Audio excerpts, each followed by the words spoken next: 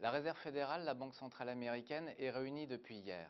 Ce soir, elle devrait annoncer la réduction de ses achats d'actifs d'environ 10 milliards de dollars. C'est du moins le consensus des économistes.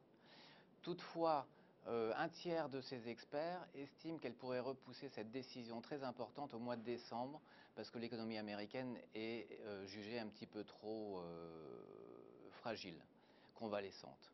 A l'inverse, peu d'experts imaginent que ce soir, la Banque centrale américaine pourrait annoncer une baisse de ses achats beaucoup plus importante que les 10 milliards de dollars euh, attendus. Actuellement, euh, la Banque centrale américaine achète tous les mois 85 milliards de dollars, à la fois des titres d'État et des créances hypothécaires titrisées. Donc ce montant devrait passer en toute vraisemblance à 75 milliards de dollars chaque mois. Ce, au moins pour les prochains mois. La Banque centrale américaine, euh, lors de tout euh, toutes ces réunions euh, de, politique monétaire pourra ajuster à la baisse ou à la hausse en fonction du développement de l'activité économique euh, son rythme d'achat.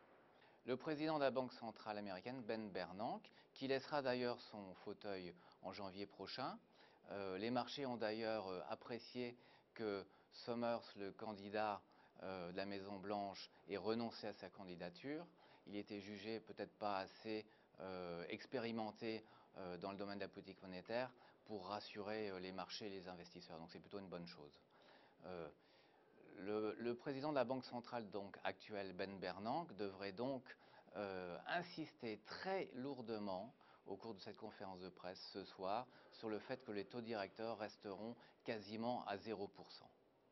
Euh, pour une raison simple, c'est que s'il donnait le sentiment que les taux d'intérêt pourraient augmenter dans les prochains mois, euh, le marché obligataire corrigerait, la bourse également, ce qui serait une très mauvaise chose pour euh, l'activité économique, pour l'investissement des entreprises et pour la consommation des ménages.